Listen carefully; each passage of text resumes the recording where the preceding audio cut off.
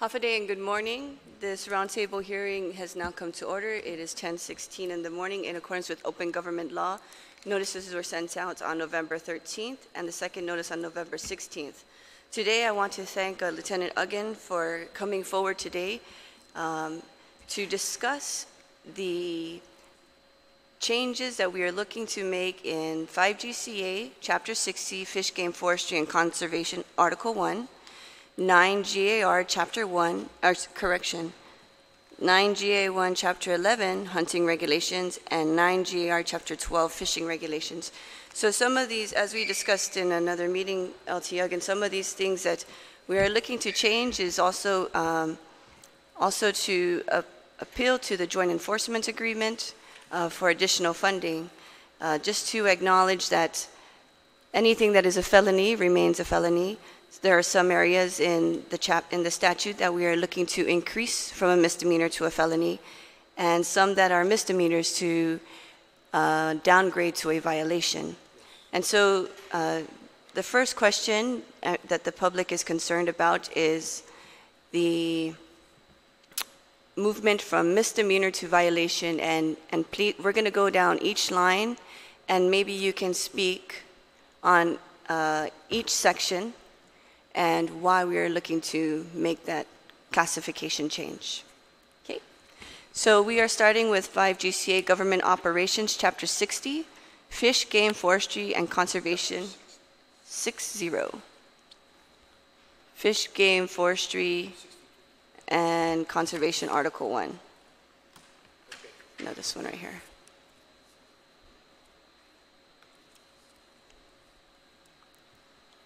Okay?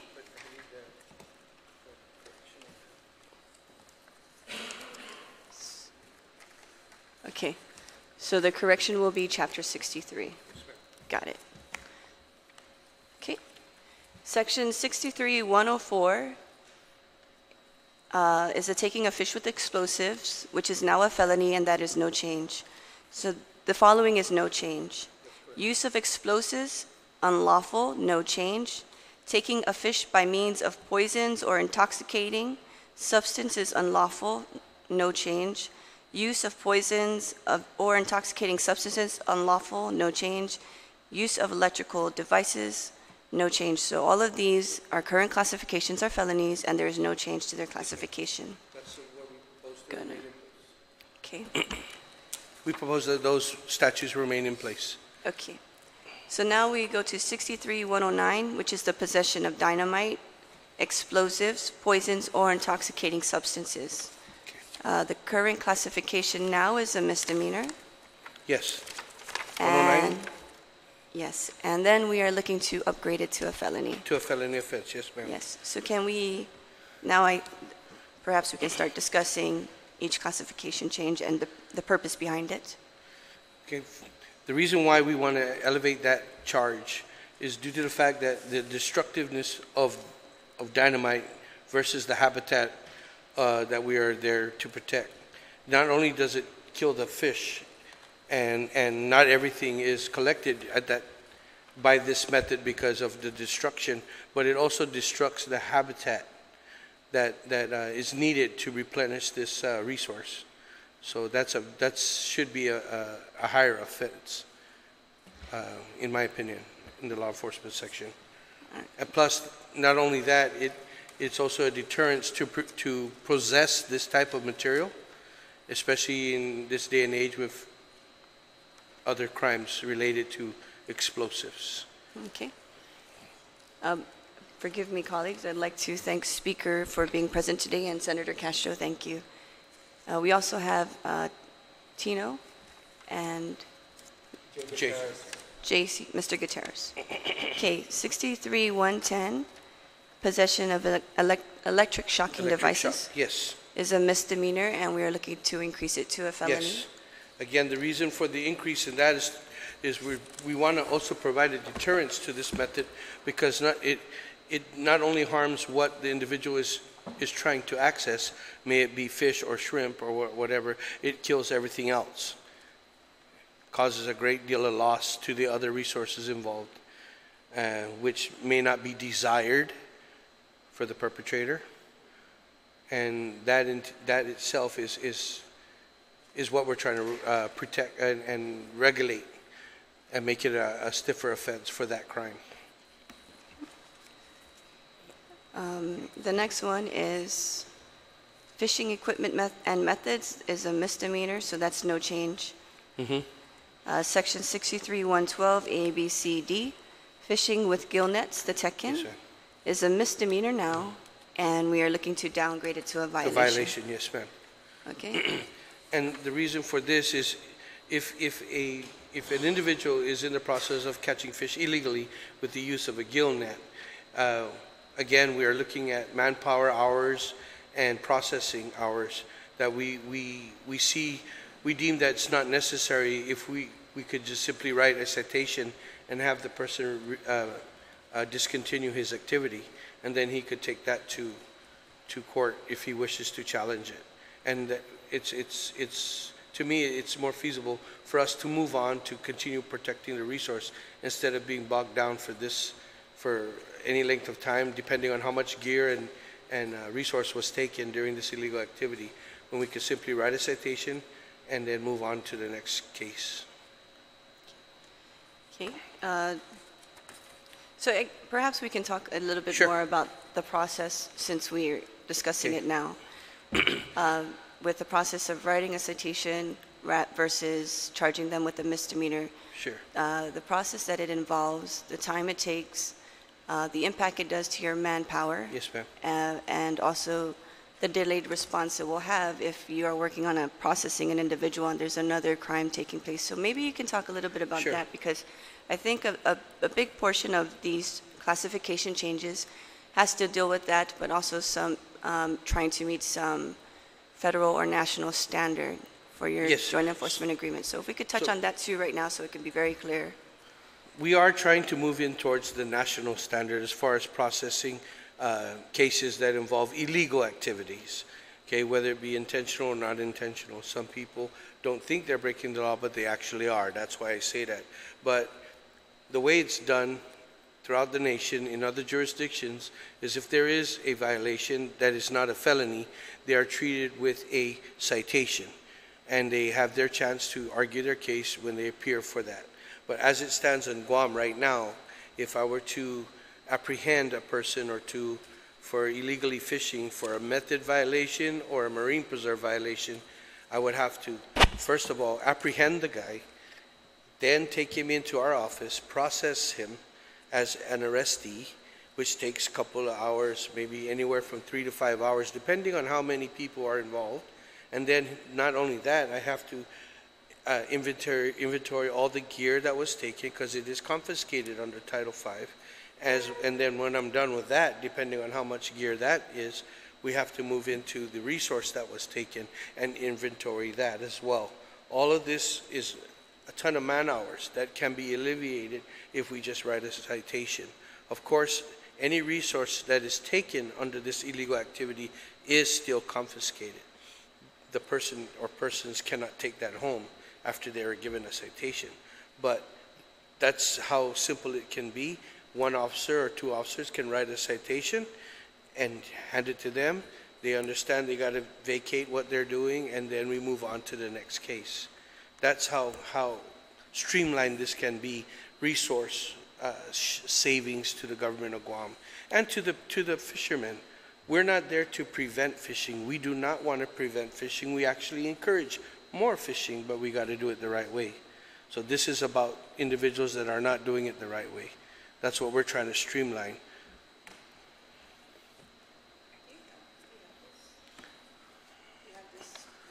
No, I do not. That's what I was looking at in here. Um, I was looking if you could get a copy. Yeah. Okay. Okay. Okay. Chief, if you want to. Okay, so, Just a second, the speaker has a question. Lieutenant, just if, you, told us what, what's involved when you, uh, when it's a crime, a misdemeanor or a felony, how you have to process that. But then when you were talking about if it's a citation or a violation only, you would issue a citation on site, yes, they would vacate the action, yes, you said you could still confiscate resources, We still have to, because it belongs but what about uh, gear? No, we, that's the, that's the beauty of that's it. the We difference. Yeah, and because Okay. we encourage them to continue fishing, just got to do it the right way. I don't want to take away his net. First of all, I don't even have an evidence room for all of that stuff. We've learned from previous years that we got so much stuff that we end up with, even though it's forfeited to the government of Guam. Now what do we do with all this gear? You know, and it's still usable. So we don't want to take that. We want to encourage that person to fish, but do it properly. That's why. I think they should just keep their gear. We remove the resource, and then they go on their way. And then can we just, Sure. we're at 63, 112, I believe. Okay, 112. Okay, And then just go down the line, Okay, just give a, a basic explanation for each change. okay. So, okay, we, we talked about the Gilnet already, okay? There, okay, as far as, as far as the, uh, the statute, um, concerning gill-netted fish, it is illegal to sell gill- gill-netted fish. And, uh, that's why there's a big, there's a big, uh, what do you call it? There's a, there's a lot of regulation regarding gill-netted fish. Okay, it, it is illegal to gill-net, I mean, to, to uh, commercialize gill-netted fish. And this is all about resource uh, rehabilitation. We're allowing the, the, the resource to continue populating. If we have a lot of people doing this uh, type of method, then obviously we're going to have a depleted resource. I believe that was the intent, Chief, of, of why that law was put in place way before my time. But that's why we enforce that. So. The, uh, one, just to add to what Mark said, the biology behind gill-netted fish is that it basically renders the fish, kills the fish basically. So with, with using non-gilling, you can literally take fish that you're not supposed to be harvesting and release it, and the fish are on their own merry way. With gill-netted fish, it really renders them, basically kills them. So the take is take. It's, it, you can't really release that fish for the most part. It, it basically debilitates them. Is that is that on? Yeah, there you go. There you go. So so the gilling is is destructive way of taking fish. Basically, is the way it is. What you want to do is net fish and have the ability to release them as you uh, you, you know as if you use the tekken or you do it uh, that way. The fish that you don't want or are not supposed to be harvested can be released alive and, and they can be on their way. Okay, so going off with what the chief is saying is, well, if, that's why we're still allowing the, it's still allowed to gill net fish for home consumption, but not for commercial sale. Because any, any resource that is not wanted will, will then become wanton waste and end up on the shores, uh, and causing different, different issues. Okay, so that's why we have that. As far as fish weirs, again, um, same, same concept. Okay, fish weirs are, are, they- they- it is required a permit, but no permits are being issued for this type of, of uh, fishing uh, method because of the fact that we are, we are limited in our resources right now. We're trying to expand on that. But also because of the fact that there are now other rules and regulations regarding anchoring systems, which falls under the Army Corps of Engineer. Any type of anchoring must be approved through that system as well. So fish weirs require that you anchor down your gear uh, um, in order for it to work and be in place properly. Some are actually uh, uh, um, have to embed into the reef in order to properly install that. So there's a lot of issues with that fish weirs. Okay, the, uh, the six, uh, the taking of fish under 63116 A and B, um, believe this will fall under the, uh, the, um, what do you call it, uh, marine protected areas. As, uh, okay, and again, for as far as the fish, as far as taking fish illegally under this statute, we want to, we want to uh, decrease that from a misdemeanor to a violation, so we can issue the citation as well. As, as you, you already know that we are very short in manpower, and this will help us in our operations. Is there a history why it was a misdemeanor in the first place? Um, I'm not aware of why it was a misdemeanor in the, in the beginning, ma'am. This is, this is way beyond, before our time, when this was uh, first created. I believe it was put in place for, to, to, to protect the resource, but now that we are understanding that there is other ways to do this and do it efficiently, that's why we're now trying to do it as, make it a violation. But back then, it was just to make sure that people will not do it uh, illegally. That's why it was put as a misdemeanor or a felony to classify it back then. So for some, it may be interpreted as moving a misdemeanor down to a violation is basically just a slap on the wrist. I- i- And- If we, What will be the, how will that deter for, uh, Okay, so- future actions by uh, lowering the classification? okay, so what we proposed in the fee schedule, that's where the, the, the community needs to understand. If they, once they see the fee schedule, then they'll understand that the citation is not a slap in the wrist. Because there's a first offense that's proposed, which consists of the, the fee itself. Then the second offense, which consists of the fee and proposed uh, community service, I believe it was. And then the third offense may result in not only the fee, but actual jail time if the, if the activity continues. It, it's a three-strike, you're, you're out uh, mentality. schedule. Yeah, that's all proposed.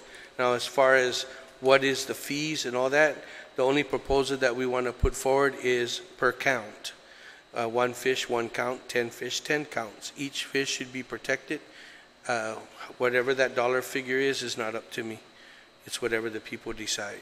Okay. So if there was uh, five fish caught, $10 a piece, 10 times five, that's what the fee, the citation should be. That's how it worked. Okay, So it's not a slap in the wrist. okay. And then, so can you just further move down? Sure. Sure. Thanks, Cap. So I'm not familiar with the judicial system. Maybe the vice speaker can help me. So am I to assume then that if it was a misdemeanor or a felony, that this, and I agree with your logic, by the way, Cap. Sure. Am I to assume then that the fee associated with the violation couldn't also be prescribed to a misdemeanor or a felony because, because it's a different classification or? Felony cases are brought before the prosecution under general crimes. They have to show in court for, for the person themselves, for the crime they committed. If it's, if, if it involves a citation, the, any, any, or misdemeanor, it can be uh, entertained either by uh, legal counsel or uh, by a mitigation process. Doesn't necessarily mean that the person has to show. And history has shown us with the Attorney General's office being overwhelmed as it is, on the prosecution side, under general crimes, uh, very, very, very few and far between anybody going to court for misdemeanor crimes. Thank you, Cap. So I guess that helped me clarify my question. Sure. So a fee for a violation, it's not, they're not mutually exclusive, that violation versus misdemeanor. I can also have a fee for a misdemeanor or a felony. Again, I don't know about the felony, may. It would depend on the court. Yes. Okay, I understand. Yeah, Okay, it's thank not- you. That, that helps yeah. me think this through. Thank you, Just- sir. Just to be clear, the proposed fee schedule, there, we're looking at a process of first, uh, first strike, second strike, third strike. There's no monetary attachment for this fee just yet. That still has to be discerned upon. Yes, ma'am. And so um, we need to continue to discuss if there, what will the fee be and at the amount. And this is specifically for those that are in violation with, granted that we downgrade misdemeanors down to a violation, and this will be deterrent, a deterrent for those for future actions because of the fees that will be proposed and impacted by those that are doing some, something illegal. Yes, ma'am. Correct? Okay. So as it stands right now in the books, regardless of how much resource is taken, if an individual is apprehended for a violation, the maximum fee is straight up 500 bucks, $500. And if you see some of the cases involving illegal fishing, for persons taking fish out, let's say out of a marine preserve, sometimes they have two, 300 pounds of fish. And there's X amount of people involved and X amount of gear. If you tally that up versus what they're, what, what would have been paid, it, it doesn't, it doesn't match the crime.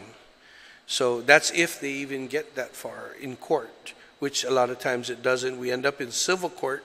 Pretty much what is taken from the individuals that are committing these crimes is just gear, and which they can replace for less than $500 each person.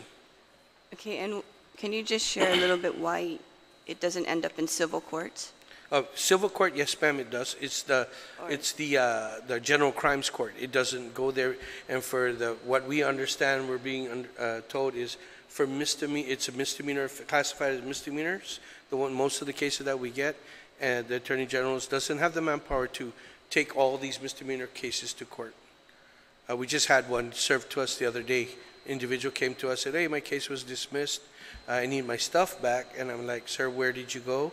Was it general crimes or civil? And he was saying, oh, I think it was the prosecution side. I said, well, you still have to deal with a civil side. So prosecution denied prosecuting his case, and he thought he was free and clear to come and get his gear. When I informed him yesterday that there's still a civil side, it's a different ballgame now. So that's why we're trying to just say, let's just stop wasting a lot of resource and time. Let's write these citations, and we'll move on. Okay. Yes. Yeah, if, if I may, I, I, I think, uh, uh, I kind of agree with, uh, uh, Officer Aguon's, uh, summary of some of the, uh, different things. I think what it is, is, is looking for an expedient way, uh, of, of dealing, an efficient way of dealing with this, the different modes of violations. I think that, that's where we want to go. And I, I kind of agree with, uh, what, what makes me a little uncomfortable at this stage uh, I'm, I'm not sure, and it sounds like Mark has uh, spoken to the Attorney General, is, my feeling is that when we, usually what I'm used to is, is we come up with proposals, we get feedback from the Attorney General, informal, uh, formal response. They tell us whether or not we're fooling ourselves or we're on the right track. And that's, and then we come back and, and uh, uh, revise whatever proposal we have for regulations, whether it's fees, et cetera, et cetera.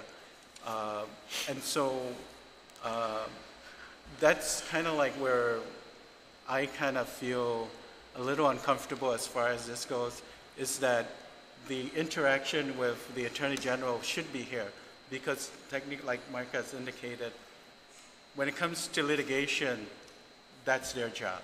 That's not my job. I'm not a lawyer. And so uh, whether or not we have the, uh, uh, the evidence, et cetera, and everything is in, in, in, in, uh, in the right place, that's how we want to proceed, I, I think is, is the way we want to look at a lot of this stuff. Um, uh, I kind of agree that, that we need to move to a little more efficient way to deal with some of these things. It doesn't make sense to tie up all the resources for violations that really can be dealt with in a little more uh, expedient fashion, so to speak, more efficient way to deal with it. And that way we can move forward and not get bogged down. I agree with you, the, uh, the, the backlog of cases is, is really unfortunate, and that has to be dealt with in a real logical way. Uh, And then the, but then the other side of it too, you don't want to make the public feel that the violations are unimportant or not really, and that's where I think we all, all are as far as, I'm sorry, thank you. Uh, That's where we are. We want to get to a point where the public feels the, uh, uh, the resources are important enough to be, to dealt with. And how many times have you jumped in a car and said, oh, wait a minute, I'm going too fast? You slow down because you know what the repercussions are. I think this is kind of like where we are as far as this goes, is that. Thank you, thank you, Yeah. Mr., thank you, Tino. Uh, This is a roundtable hearing. Sure, We're discussing this now, yes, and the purpose of the roundtable hearing is to gather all the information from all heads. Sure, And so we will continue. It is, it is not written in a bill. yes, yes. And this is Agreed. open for the public to also make comment. Yeah. And so, thank you for that. Uh, Okay. We'll address also the state action plan uh, to discuss perhaps some of what is going on with the state action plan in uh, Mm. Okay. uh, as we move forward. But right now, we are focusing on the classification changes. Okay, and so please, uh, Yes. LT Aguon, can you please move forward with that? Thank you, ma'am. So, when we're talking about uh, 63, uh, 116 A and B, we're now moving into the activities within the marine preserve, okay, which are vital to the resource, uh, resources for the island of Guam, okay? Under the current law, um, they're, they're regulated, the marine preserves. The, there are special permits that may be issued from the Department of Agriculture, DAR, uh, regarding seasonal fishing, which has been working very well as far as access to these fishes within the marine preserves. And it also uh, protects the other resources involved in select marine preserves. The Uh, It's sad that a lot of the cases that we are dealing with involve violations within the preserves and takes a majority of the officer's time to pro- process. Same, same concept, everything we regarding all these issues from this point on, uh, as far as fishing regulations. It's same reasoning.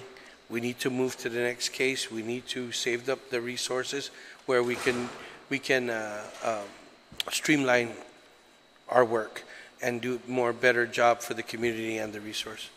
So we would like all those um, cases as well to fall under the violation, other than the felonies, if there's any involved.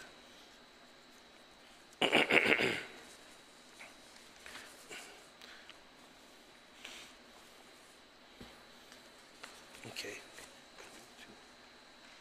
One, two, four. Okay, so mm, with, with this, I believe this, majority of this discussion right now is, was all for fishing-related uh, uh, issues. Um, Access now, let's say, for example, is to the boat basin, that is not our, our uh, issue with this department. That belongs to the Port Authority of Guam. Although the resource is regulated through us down there, uh, its access with whatever type of method or gear is solely under the, uh, the purview of the uh, Port Authority Guam General Manager, not with the Department of Agriculture. Just wanted to point that out to make sure we all understand.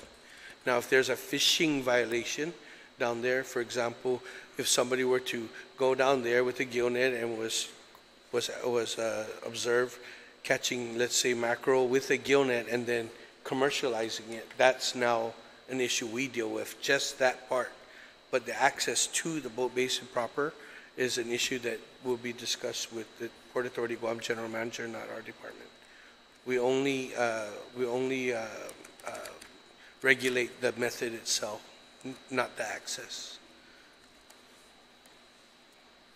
So moving forward with our discussion, we're now going into the um, 63121 to 1, 1 to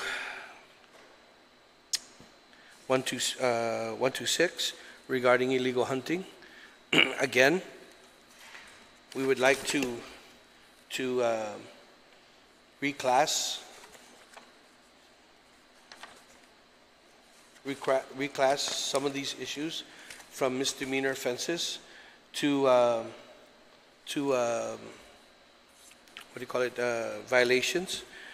For example, just mere illegally hunting, whether it be without a permit or without proper, uh, without proper uh, uh, equipment, yes, ma'am. Um, we, we feel that we should just be able to write a citation for that. Now, the only, the only time we should be making an arrest for a person that's committing a uh, illegal hunting activity with something involving, like, let's say, an unregistered firearm, which is a felony offense, okay? Or a stolen firearm, which is, again, is a, is a felony offense. Uh, Firearm-related issues, or may it be a stolen vehicle, because there's a lot of vehicles involved with uh, uh, hunting on Guam may it be illegally or legally, there's, uh, everybody uses uh, some mode of transportation. So where it be any of those instances where under Guam law that they're committing a felony offense, we would, of, of course, follow that higher statute and go ahead with the arrest. But for merely, uh, uh, uh, uh, what do you call it, uh, violating a hunting rule and reg, we would simply wish to write a ticket for that. And then again, we would like, as far as the fee scheduling, a discussion will go is per count, one deer, one count, two deers, two count, or whatever it is. One deer, one count, one pig, one count, whatever the game they caught in that illegal activity, they should be, fi- uh, each animal should be protected, not just one instance of three hundred dollars. And uh, I, I know uh, if you're not aware, aware, one of our cases just a couple weeks ago involved uh, a very high-profile arrest where we were managed to to take off the streets of Guam uh, altogether assets, uh, uh, illegal drugs, and and uh, money due to these proceeds, a little over 770 plus thousand dollars worth of of uh, uh, illegal contraband. And I've been saying it for a long time, that natural resource crimes, a lot of them, especially the hunting side, mostly, are linked to, to the illegal, the, the drug trade. And, and we're trying to be able to separate the violations from these cases that we need to concentrate on, and these areas that we need to concentrate on. So that's why, another reason why we're doing this as well. So again, going with this, we're looking at 63124, A, B, and C, uh, importation, harboring, uh, 63125, use of artificial light, that's anything other than the moon and the sun, um, and uh, 63126, keeping of deer, which we now allow for livestock. We, we have a system for that in place already. Uh, We wish to, to, to reclass that as misdemeanors to uh, violations.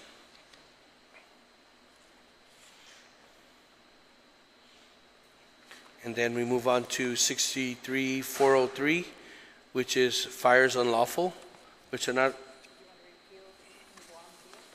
No, we, we, uh, yeah, it, it has been changed. I- I- That's been. Yeah, to, That yeah, has been repealed. and now we- allow it as livestock. Yes. So, um, 63403, fires unlawful, and it's a misdemeanor. We'd like to up that to a felony offense. Now, I know um, you guys are aware, um, this body's aware of the, the, the destructive, uh, what do you call it? uh, um, how destructive a fire could be from, we have a fire season on Guam. It's during our dry season and it has impacted not just, not just our, our, uh, our terrain. It impacts the rivers which lead to the ocean, which, which the sediment that goes out to the ocean smothers the reef. No reef, no fish. We, you know, we operate under the ridge to reef concept. We must protect the ridge, the ridge, uh, ridge so we can, in essence, protect the reef as well. So right now, to, to commit this arson um, crime, it's a misdemeanor. So we want to try and deter that by making it a felony offense or um, pick up that, that charge to make it, well, they have to be more careful as far as how this is. And I know you've seen the news recently, what happened is happening in California. It happens here. If you don't live on Nimitz Hill, you'll understand what these people are going through. Every year, they have to almost vacate their houses or what, because of grassland fires that we have in Guam. So that's, that's one we think is, is, is getting out of hand. It's very hard to, to, to, to uh, prosecute a case like this because of the way the law is written. Maybe you can uh, research that and, and maybe help out with the investigation portion, because it's almost to the point where you have to actually see the, the individual lighting the fire versus, like, let's say, for example, I see a fire go up, I, I, I patrol the area to find out where the source comes from.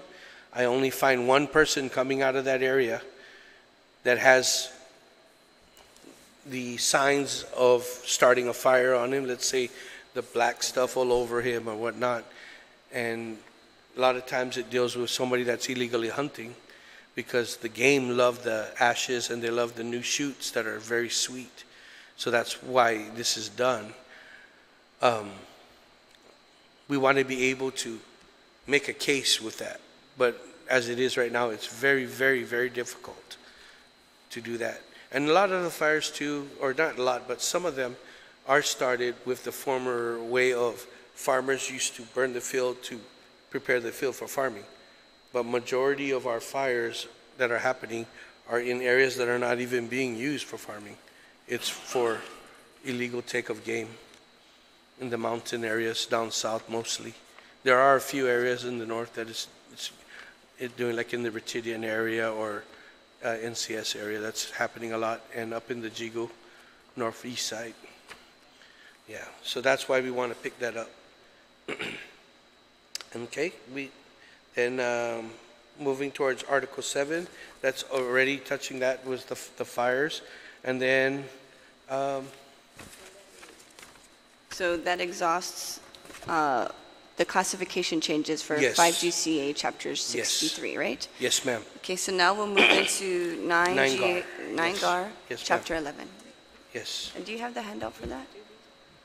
Oh. Okay. The, the speaker brought up uh, a question for the section 63, 601, uh, s- and 6302, the taking of live coral and harvesting of coral. Yes. It's a misdemeanor, We and want both to were up looking that to a felony, and that's all environmental protection for the resource as well. Very destructive.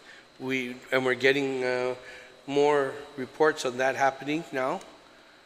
I don't know why it's increasing. I'm not sure yet what, I, we're trying to figure out where the market is as far as why they're harvesting this coral. But there, there's a couple of, of uh, theories that are, we're looking at. One is because we have neighboring island folks here now, so the need for afuk, the lime, that could be one, but we're not sure yet. We're still trying to figure that out, and the potential for for shipping off island.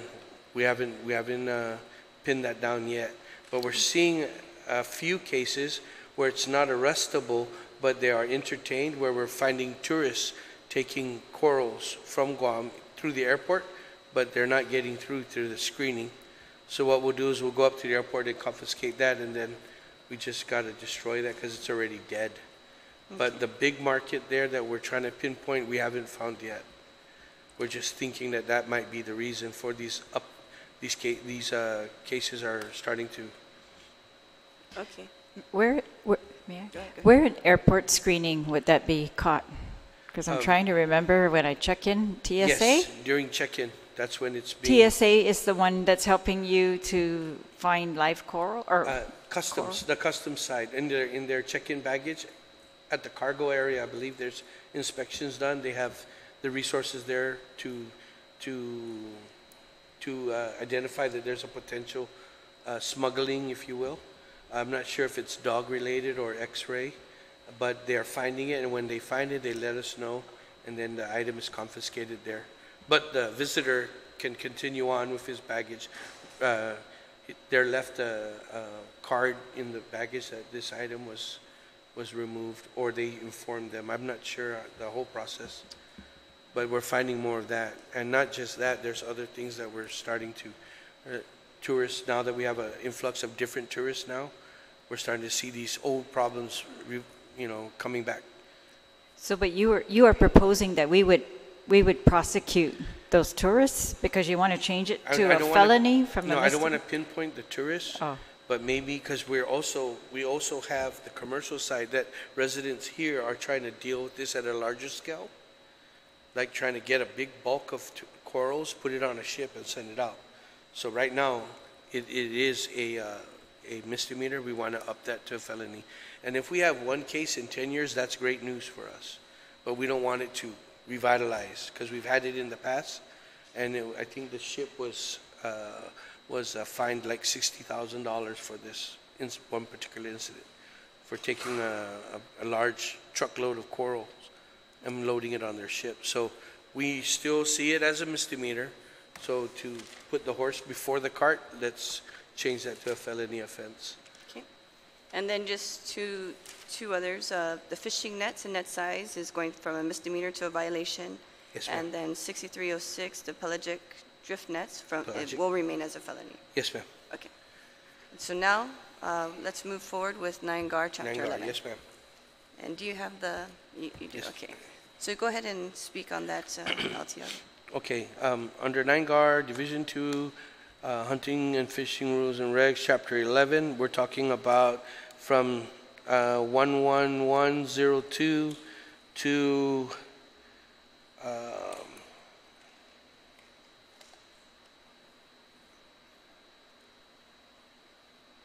one one one one eight. That will, all of this will deal with hunting issues okay, from uh, legal shooting time, trapping licenses, hunting license fees, altering, borrowing, lending, transferring licenses, uh, which we do have uh, license in possession, uh, deer tags, because not only do you need a hunting permit, you also need a deer tag, which which allows you to take deer uh, legally during the hunting season, which is only three three deers per season. Okay, that's a, that is a management tool for the resource, but we've, over the years, the, we've been having an increase in resource, so we've been having special hunts, which is administered by the chief and assistant chief's division, that they, uh, they get the, the, the special hunting program going, and for that particular season, we allow the hunters to continue hunting deer, uh, because of the, the influx of the resource, to try and keep it manageable so they're not destructive. Yeah, you know, if I could add to that, what's going on is uh, we're playing uh, ju- a juggling act.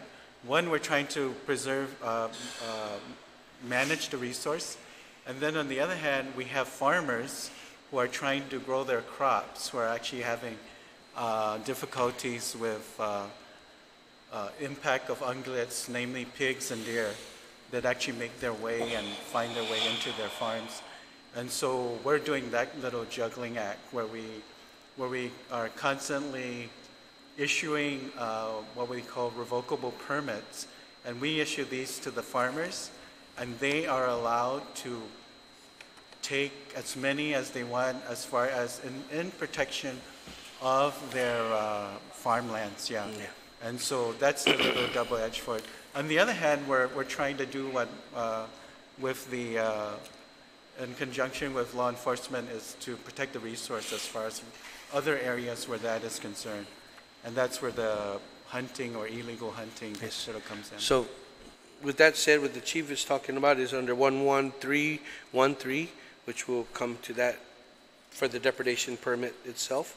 But uh, regarding just hunting for now, it's uh, the, the, from 11102 again to um, 11118. So any violations within this area, be it be safety clothing, um, uh, uh, what do you call it, uh, age requirement, uh, private property access, um, use of alcohol or drugs during the activities, things of that nature. Of course, when it comes to alcohols and/or drugs, uh, we also talk about prescription medications that can cause a hunter to be incapacitated enough to hunt. We still would want, we would be the one to investigate and uh, maybe uh, terminate that hunt for that individual until, until he's uh, uh, capable of continuing. Those are the kind of things that we are now trained to do and that we'll look into. But as far as the violation, for misdemeanor offenses, we'd like to do it, uh, change it to violations. Again, so we can move on and, and minimize time with this activity. Um, Beast of burden, again, that's using, let's say, a carabao horse or anything other than your legs or a vehicle of any type. If it's an animal related, most of the time it's a carabao. Okay, again, those are the same things. We want to reduce that down from a misdemeanor to a, a violation in itself. So if I was to catch a perpetrator doing, let's say, five of these, there is the way the citation is made where we can annotate 11113, 11116, 11118 for each particular offense. Is there particular, should be a particular fee schedule set for that. So he adds all that up, whatever, how many violations, that's what the end cost will be for that particular person. So again, it's not, uh, we're not here to deter hunting. We, we want people to hunt and hunt even more, just do it properly. This is, again, part of a education and deterrence tool for this to be put in place. So I think it's a win-win. Um, Going from um, um, uh, use, okay, let's, let's go into a little bit of, of uh, 11117, use of artificial light, which is another uh, big uh, uh, component of illegal hunting, nighttime. You ever heard the term deer caught in the headlights? The reason why they say that, because when you shine a light on a, on a deer, he just stands there like, oh, what is that? And then it's taken out. It's a true fact, and it's being, it's a, it's a, it's a, it's a method used for taking legal game. And it's not just a headlight, okay? I have cases where they even use the vehicle lights. They're doing this down the roads. Let's say at the uh, Anderson South area, they're doing this. You're thinking they're DUI? No, they're using the vehicle lights to look on the side of the road for game. Okay, it's all about the officer's, uh, uh, what do you call it, observation and, and what he perceives as, as uh, illegal hunting methods. Now, under illegal hunting, there is a thing called prima facie. That means uh, prima facie, better. she could help us with that. Uh, the person doesn't even have to be doing anything. So long as he's in an area abundant of game, he has a weapon with, with ammunition, and um, um, you, uh, artificial light. Okay? He could be sitting in the vehicle in an area without any reason to be in the dark, waiting for the right time or what. He could be charged for illegal hunting. And we've, we've uh, actually prosecuted some cases with that successfully. People just standing by, waiting for the right moment. We find them hiding in the side of the road or somewhere, or they're just waiting out in the jungle somewhere, laying down with the gear. They would be, uh, it could be considered illegal hunting based on the investigation. That's So- under 60 63, 125. Yes, so that's another thing, okay? So that's why we want to continue that, and- but also, again, remove it from a misdemeanor to a violation.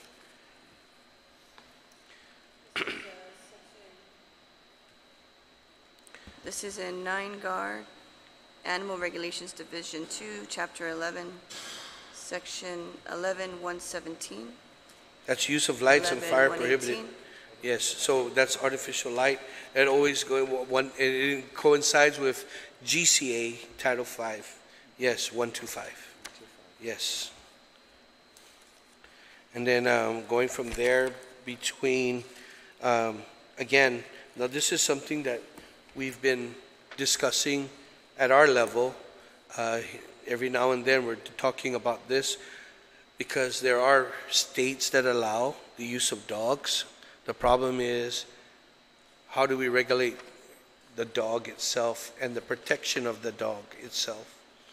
Because we don't want dogs to be abused and left out in the jungle during a hunt because, oh, well, he'll find his way home kind of attitude or whatever. So we don't know if we want to touch that or not. But for now, the use of dogs is a misdemeanor.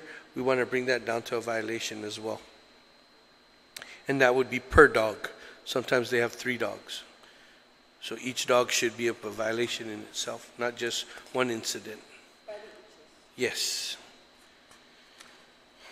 And I think that, is it per count? That's how you say it. Yeah, one dog, one count. Yeah.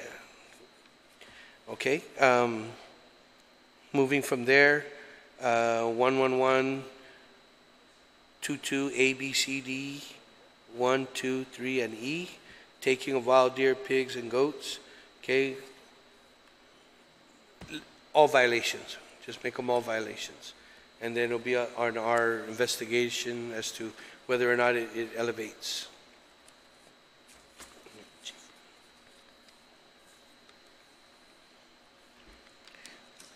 I don't know what the class is right now. We couldn't find the class on that. Um, Right? Yes. So- 11122 A, B, C, D. So this is taking of wild deer, wild pig, wild Yes. pigs and goats? Goats, It yes. says the class is a misdemeanor and so Okay. you're looking at making it a A violation. violation, yes, ma'am. Okay.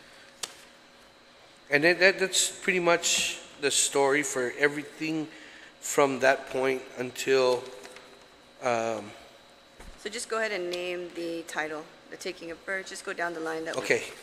Okay, the taking of birds, Recovery of game. recovery of game. If you need me to explain some of these, uh, let me know. Uh, hunting seasons and bag limits, okay? If you don't understand what they mean, just let me know. Uh, trapping licenses required, altering, borrowing, lending, transferring licenses, license to be in possession, trapping age, trapping assistance, duplicate license, safety clothing, trapping for the purpose of domestication only, immediate report of trapped game, semi-annual report of trapping efforts, depredation, permittees, if I could just stop there real quick. Sure. That's where the chief was mentioning, we assist the farmers and ranchers, even residential at some point, with these permits because of the destruction of pigs and deer for the farms or residential areas. Okay, um, that's one of the main reasons why we have the Derby coming up in December. That's just one tool that we use for education and to help minimize the resource damage. And we Uh, do that free of charge. Yes, And just a little correction, we're probably going to have the Derby early January. okay, well, No time to. but we do have one, yes, but we do have one. The department has a Derby. That's just one tool that we use, okay? And then, um, so that's what that permitting, and it's all handled by us, uh, which is working very well right now. Uh, we even have USDA federal, uh, joining in to assist the people of Guam under this, under this statute here, to, uh, assist the people free of charge again. And they've been very, very successful. Just in, we did it in my brother's farm, for example. They took out 80 pigs in two weeks, something like that. So it's a very, very useful tool for the island. Okay, um, inspections of trapping licenses, traps and trapped game. We have a report that's needed to be generated by the trappees to us so that we know what they're doing and how, what they're doing with the game. Um, trapping on private property, use of lights, use of dogs, traps owned by others, uh, purchase and sale of unregistered trapped game prohibited, uh, non-commercial trapping license fees, bag limits, and commercial license fees and bag limits, um, authorized trap, trapping methods, authorized trapping areas, and influence of alcohol or drugs. All of these are listed as misdemeanor offenses. A lot of these that we see on the books, they're not, we hardly ever see, but they're there for a reason because we actually had a case or two involving one of these or the other, but not regularly. So they should still stay there, but we need to reclass into a violation. Okay? Uh, moving on to nine GAR, Division Two, Fishing Regulations, Article One, General Regulations. Um, 12102 A and B, and 12104 A, B, C, D, E, F, G. Uh, Both um, cover harvesting regulations and gear restrictions. Right now, currently, they're misdemeanors. We like to move them into violations. And then what is the deterrence for all of this is the actual fee schedules. And if we move into a stiffer fee schedule for this particular issue, then that'll be the, the, the, the I'll, I'll, we can make a copy, Senator, of, of this, and we can give it to you. Okay. No, it's, it's here. You're talking 9 GAR, Chapter 12, 1, 2.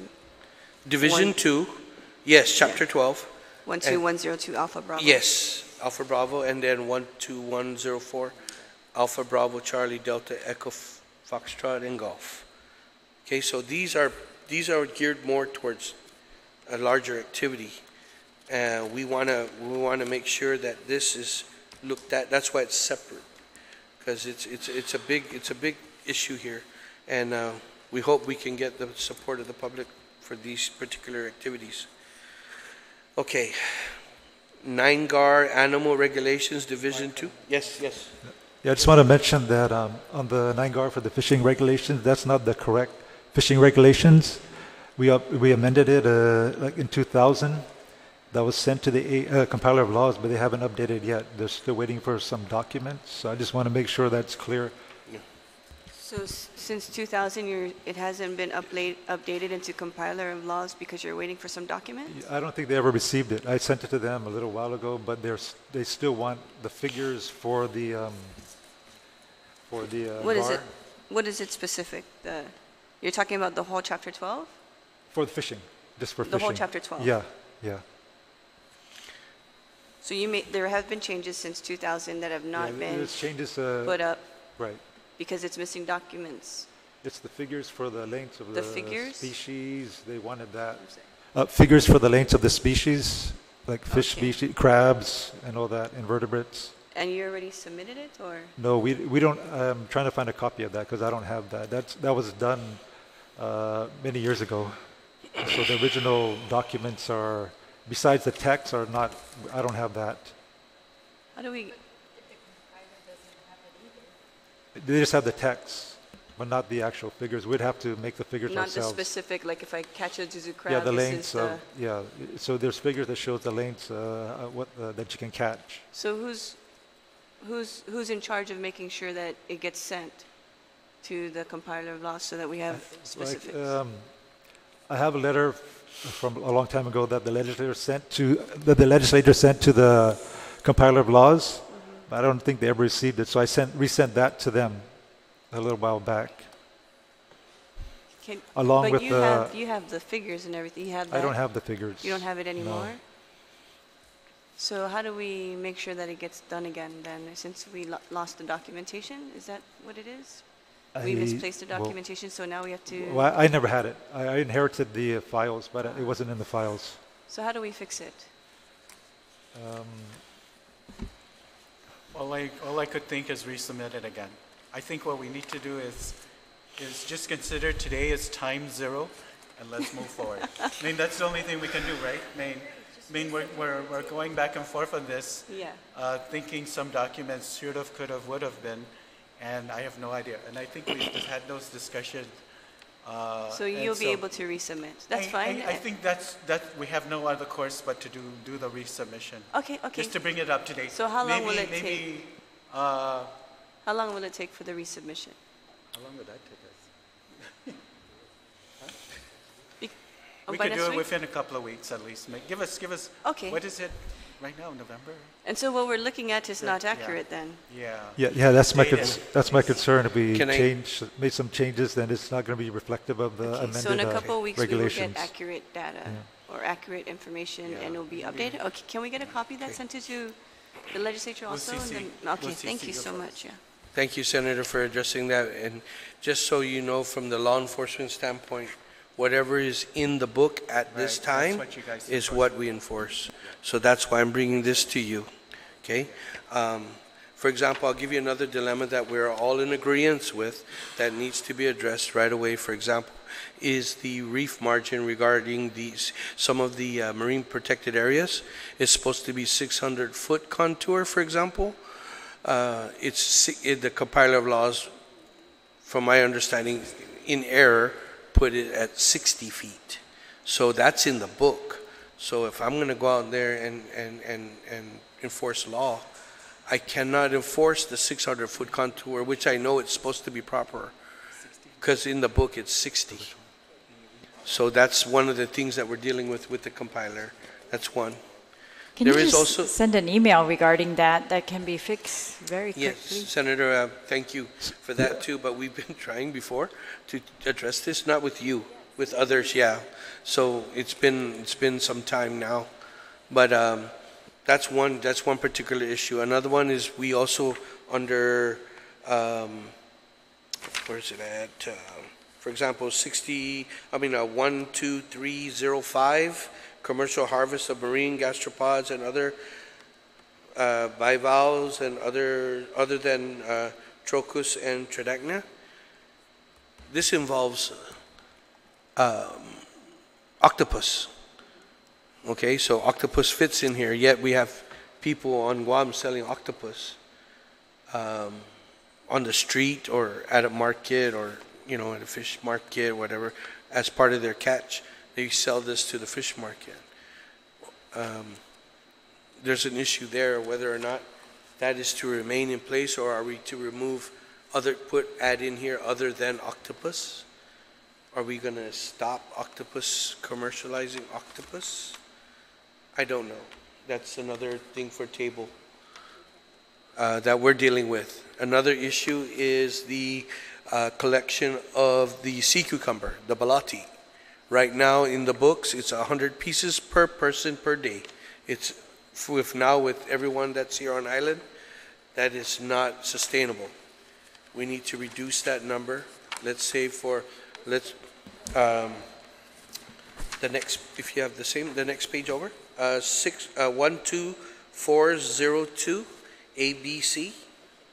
Yeah, so for the sea cucumber, uh, it's 100 pieces per person per day.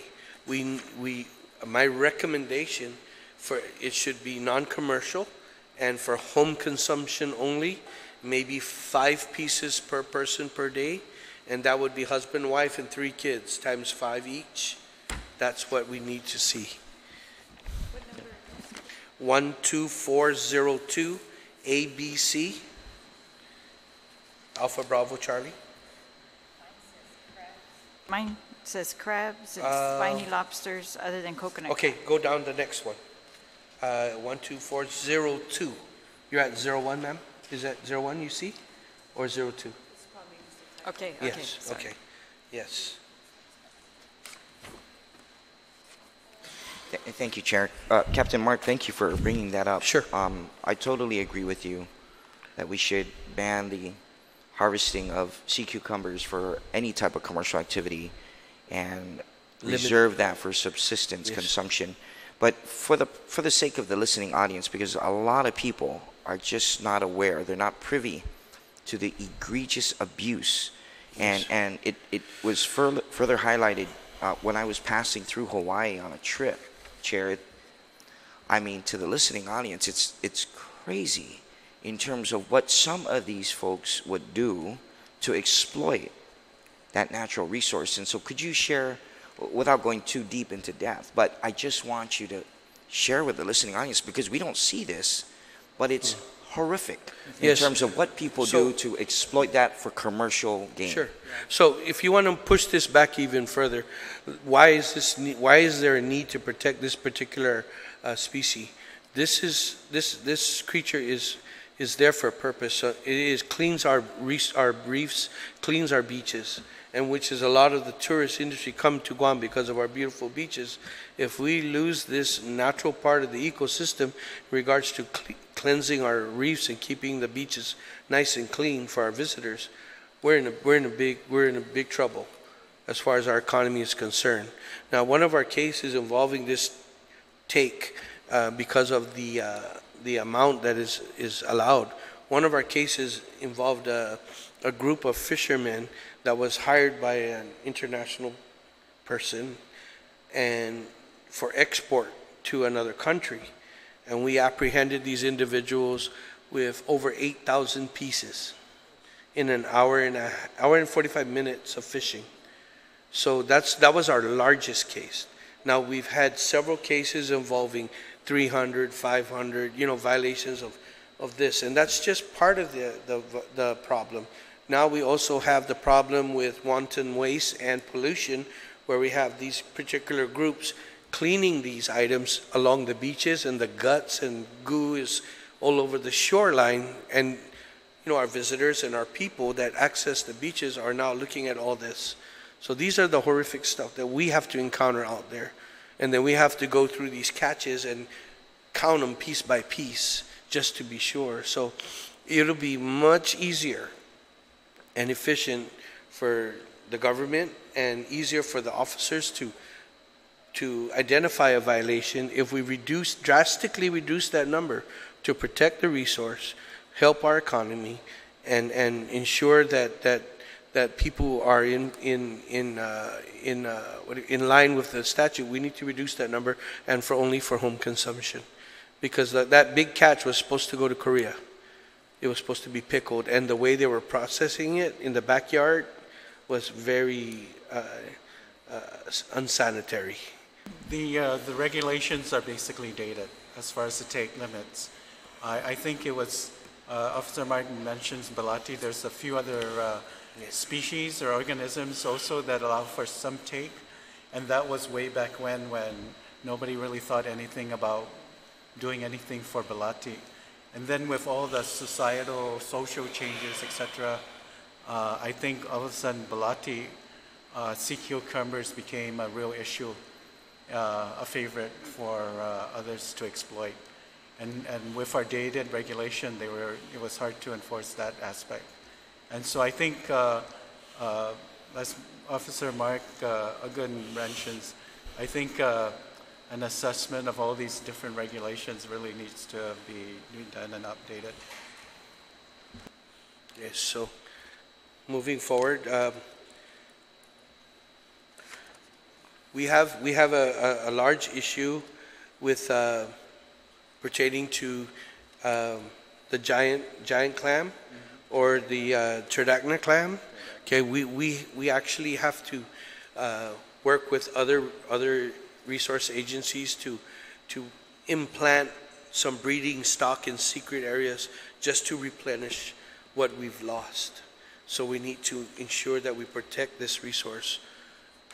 It's not only economically wise because people love to snorkel and see these animals in the in the wild, but we are also we should be also be able to enjoy it as well, so long as we follow the regulation on harvest as per size.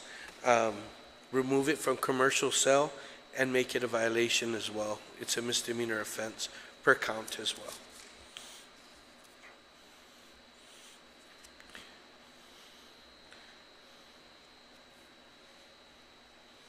Okay, we talked about one, two, three, zero, five already. Moving forward. Uh, Chief Jay, if you have any input, you want? Um, what do you call it? Uh, okay, we're down to, that, that will be from one, two, one, two, three, zero, five through seven, A, B, C, and D. Okay, we take care of all the, all violations. And then, uh, one, two, three, zero, eight, A, B, A, B, and C, other marine invertebrates, including, uh, sir, you want to pronounce that? So are you, are you, um, we we're mentioning about uh, commercial harvest, which is linked to commercial sale, right? Yes. Um, So are there commercial harvests of crabs, spiny lobsters? Is there a commercial har- harvest that you permit for that, or No, ma'am, it's, it's, right now, it's allowed so long you as just take as much as you the want? you size limit it? and no eggs. So are you recommending that some of these things will be removed from commercial harvest and used for personal consumption or subsistence? Now, as far as the lobster is concerned, I don't foresee us having an issue right now with the commercial sale of lobster. Mm-hmm. It's, it's the other stuff that, it- the number of catch is way too much.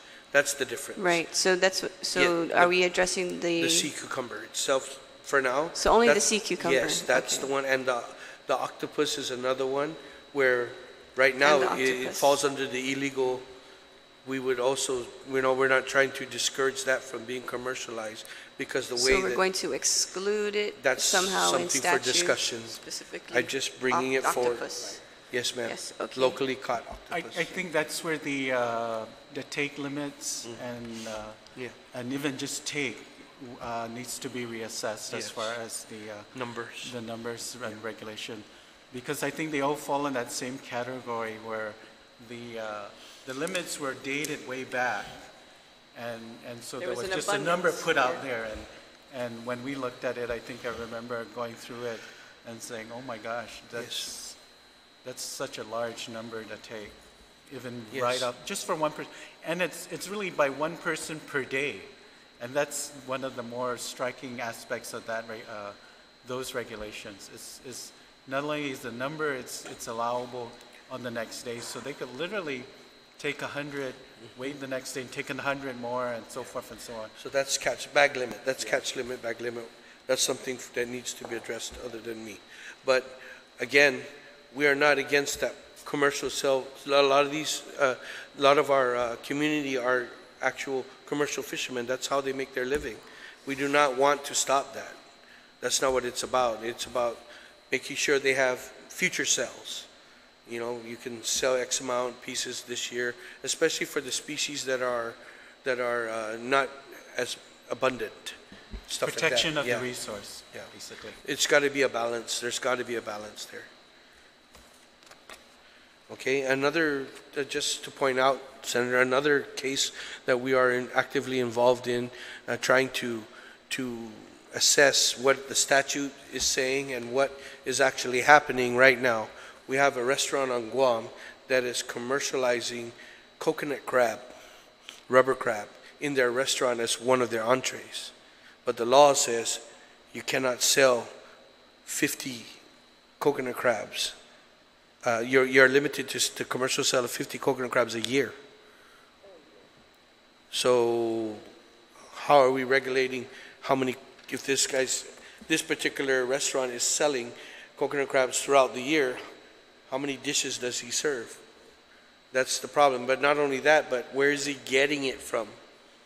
Because the bag limit is 50 a year. So who are these suppliers supplying this restaurant?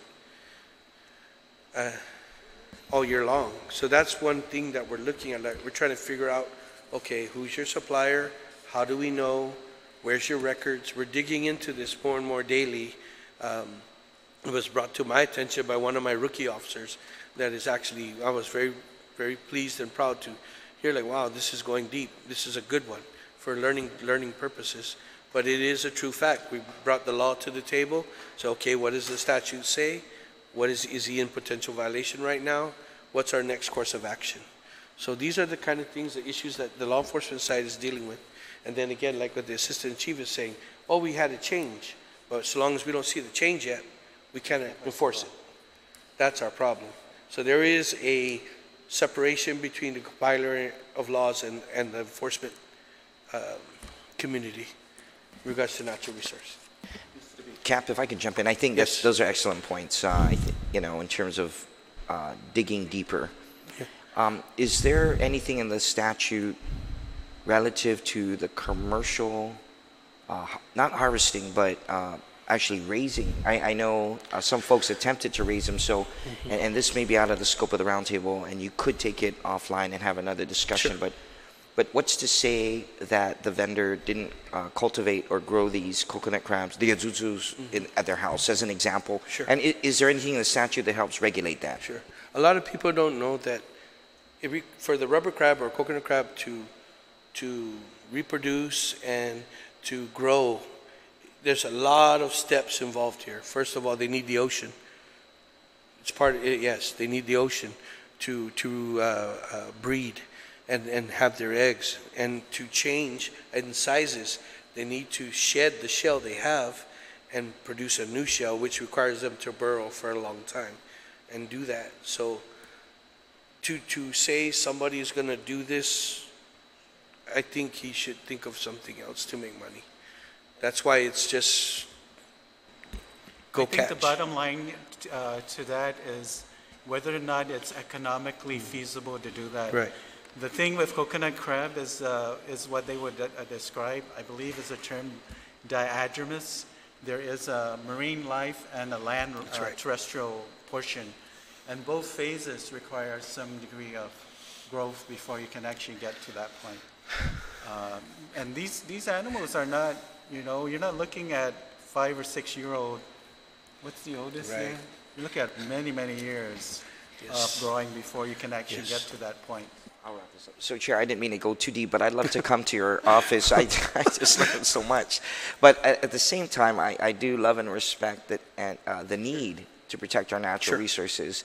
But I also don't want to discourage uh, other entities from taking full advantage Sure. of those delicacies that make Sure. this part of the world so very special. So, if we can strike that balance, for example, there might be parts in other parts of the Marianas where there is an abundance and there's no Mm-hmm. Threat to the ecosystem. But, but we'll have Sure. that discussion offline, Yeah, and I do but- appreciate that, Chair. But that Thank too you is much. also involved in our discussion a little bit as we move on to 12501A and B, um, and uh, to 125 A, B, C, D. Okay, so we do not want to discourage, let's say, somebody going to another island, let's say Chuuk or Palau, acquiring permits from us for, then go over there, get a certificate of origin, get however many coconut crabs they can get at that trip, bring them back to Guam, and then commercialize it. But you got to go back to the numbers again, where the numbers say you're only allowed X amount of a year. So the balance there, now we have to, to look at how can we help that situation. That's another issue you got to look at. But again, in regards to that, we also want to move that from a misdemeanor to a violation, where we just cite. Okay, then now, uh, Division Two, Chapter twelve, Article five, moving forward to commercial harvest of freshwater game fish. We have, we actually have fish in our streams and rivers, and some are introduced now, like the tilapias in our rivers in some areas. Okay, that's not indigenous to Guam. So they're actually destructive fish because they eat the local fish and shrimp. Um, and then um, uh, freshwater fauna as well. Okay, so there are another there there are a whole slew of, of different types of, of freshwater uh, fish and game that we need to yeah, organize them. Chief's giving me a lesson on all these big words. but uh, excuse me for my ignorance on these stuff. But we all want to move them forward from misdemeanors into violations. Yes, ma'am. Okay, here's what I was looking for earlier.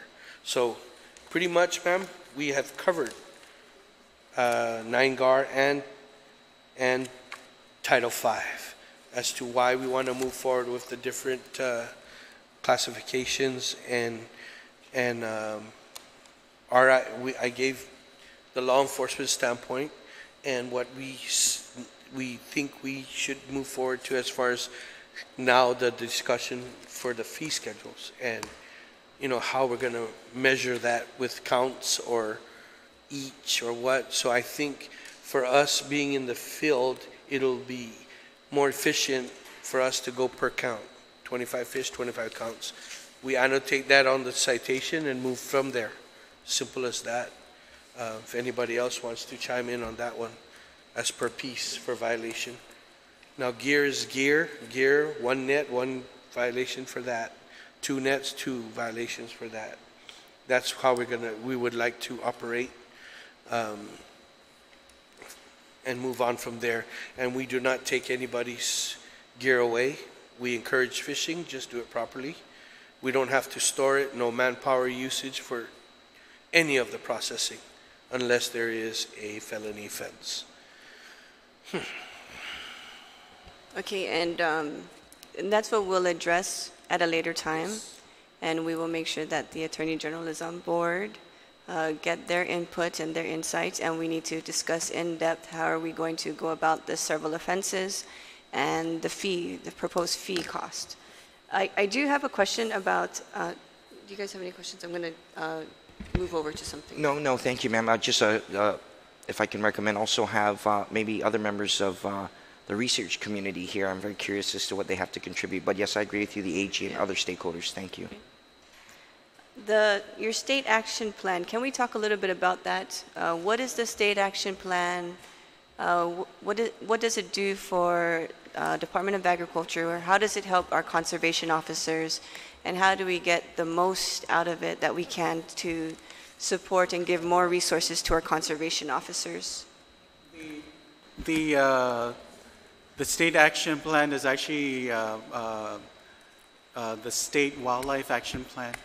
That was a document that we had uh, um, created uh, as per our requirement from the U.S. Fish and Wildlife Service, and actually by the U.S. Congress in terms of all the different states and territories to uh, come up with a state wildlife action plan that the U.S. Fish and Wildlife Service would, would basically accept. So that, we had submitted all that document, uh, named that particular document, which turned out to be about 300 plus pages of everything you wanted to know about everything else and, and uh, the uh, wildlife uh, uh, realm as far as Guam is concerned.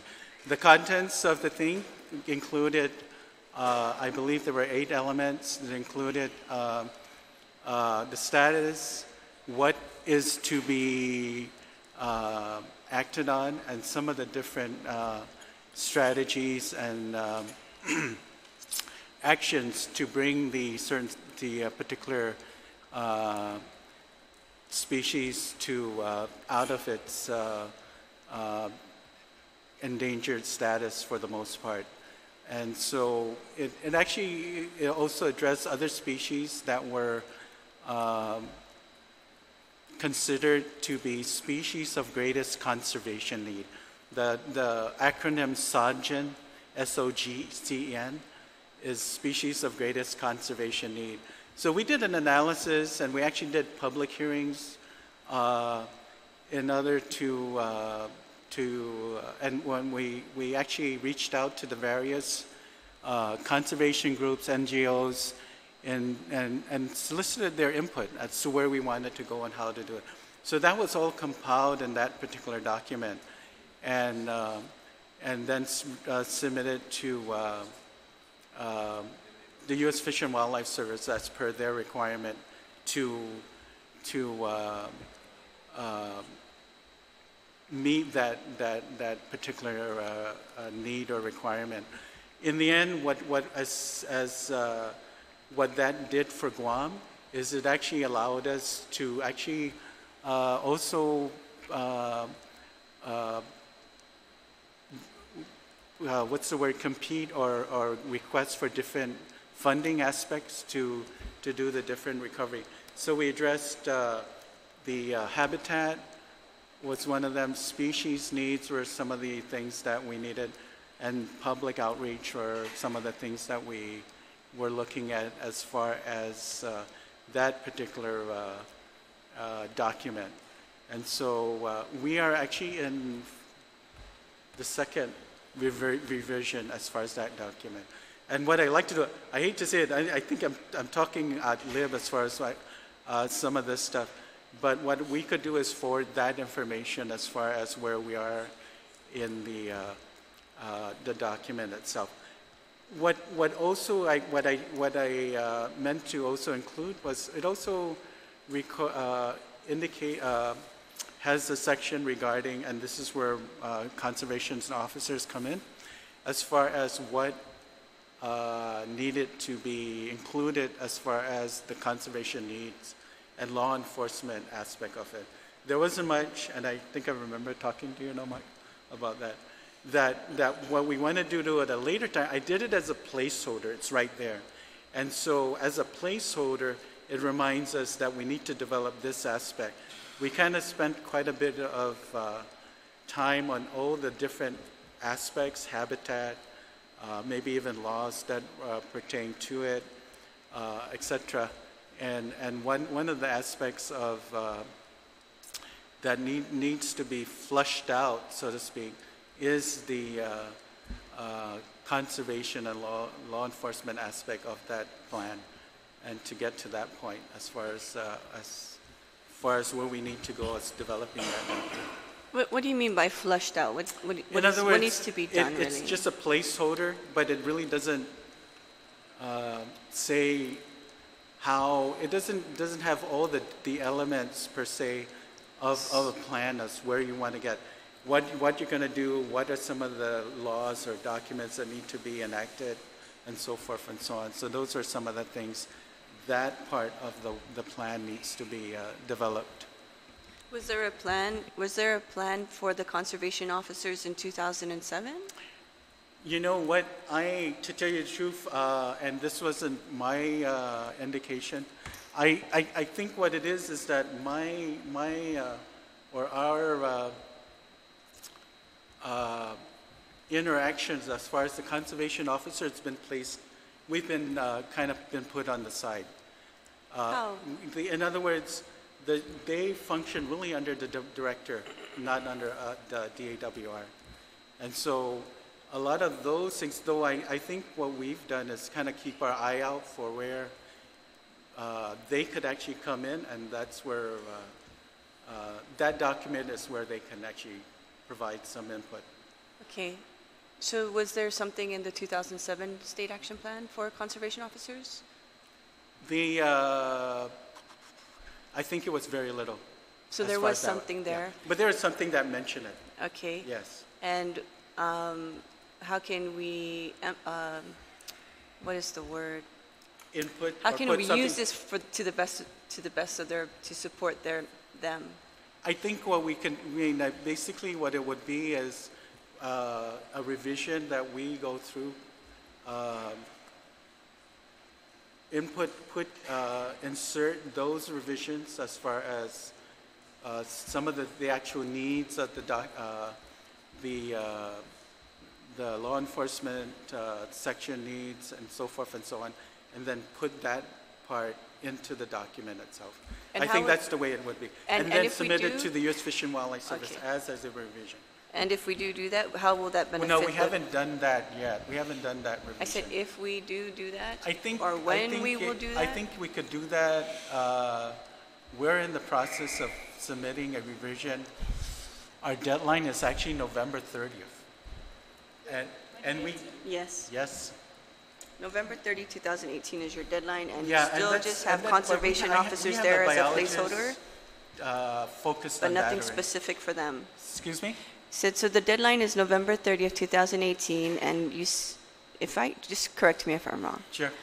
Uh, So you have the conservation officers, you have the intention of including them, um, but you haven't inputted specifics, Right. Mhm.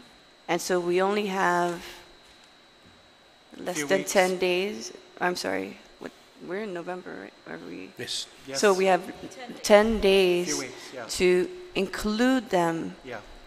but we have no, have we known that they've needed to be included, and so perhaps there was a disconnect in communication? Sure. So how do we move that forward now? And, and what is it that we would include for, maybe, maybe some of the officers can speak, what would be included or would need to be included for the state action plan um, The- to the U.S. Fish In the previous state action plan, it was stated there uh, that there is a portion there, I think it's under section four or five. I'm sorry I don't have the document with me, it's at the office, I wasn't sure we were going to discuss that today, but it was there. And under that, under that section, it talks about support for the conservation officers. Within that state action plan, there are five, four or five elements that uh, needed to be, eight? Well, the one, the list that we were shown, is there, how many? Five? There are five? There And, was uh, I'm sorry, before uh, we continue. This is uh, Acting Sergeant Regadio. He's my uh, op sergeant who is here to assist with this discussion. Okay, so, so in, in, in regards to the state action plan, under these elements, uh, we were to perform um, some tasks, uh, listed tasks, in order to fulfill the, our portion of the state action plan. By not be knowing to us, all this, for the past two and a half years that we've been under the director's office, uh, we managed to move forward with several of these, these uh, tasks without realizing that we were actually accomplishing what the state action plan called for back then. For example, the reserve program. That's already going through the final process to be implemented. Uh, the citation program, which is what we're working on now. Education, outreach, trainings, all of those things that involved, and promotions as well. All of this happened within the last two and a half years. Um, to, to, to our, like, to our, you know, without us realizing we're attacking the state action plan back then, which we did not even know we were part of in that regard. We knew that there was something, we heard that there was something, that there was their portion there that involved conservation officers, but we weren't sure. But we did our own research and come to find out, oh, here we are, under section five, I believe. Uh, there are, li- it says what it's for, support for us, and then there's a list. Okay, so the, the one thing that we are looking at, we're like, well, if this, if we're included in the state action plan, then we should be able to access this resource to help us improve. And I'm talking about manpower promotions. Does this provide an additional funding source for the conservation officers if they're included in the state action plan in accordance with the requirements that Yes, it ma'am. met? Yes, ma'am. We, we, we've, with some limitation as far as where the, the funding, uh, basically our, our funding resource uh, precludes us from using uh, such monies for law enforcement. So that's where, that's the, the uh, the juggling act we, uh, we play Your as far as funding that goes. resource, but I'm talking about the state action plan. How does, okay.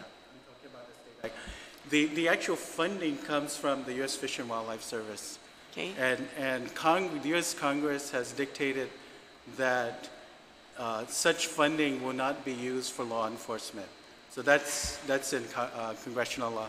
So not be used for law enforcement, like for Activities. personnel, for Yes. vehicles? Yes, yes. Anything that has uh, uh, a law enforcement element to it, I think precludes us from using this? that funding. And so what we've done uh, as a matter of uh, operations, so to speak, is that local funding is used to pay for uh, the conservation officers um, and anything else uh, associated with law enforcement. Okay. Yeah. But anything else, uh, conservation actions, So how would, how would you forth and so on. benefit from the state action plan? Under the state action plan, we are identified as a recipient of some, some form of, of proceed or, or assistance from this plan, and it basically spells out what we need to do in order to access this, which we, I was saying that we actually performed a lot of it, if not all of it, already. But So I'm with, getting the impression from Tino that I, because of U.S. Congress, it's Yes. moot that funding will be given to you. Yes, well, there's a program that, that the, the chief, the division operates off of, which I understand and agree, like the sports, uh, what do you call it, the sports fish restoration program. We cannot access anything from that. That's one of the programs that they operate off of. We've identified that earlier on in our discussions. That that's, that's why we need more assistance from home. But under the state action plan, which is allocated for Guam, okay, we are identified under there.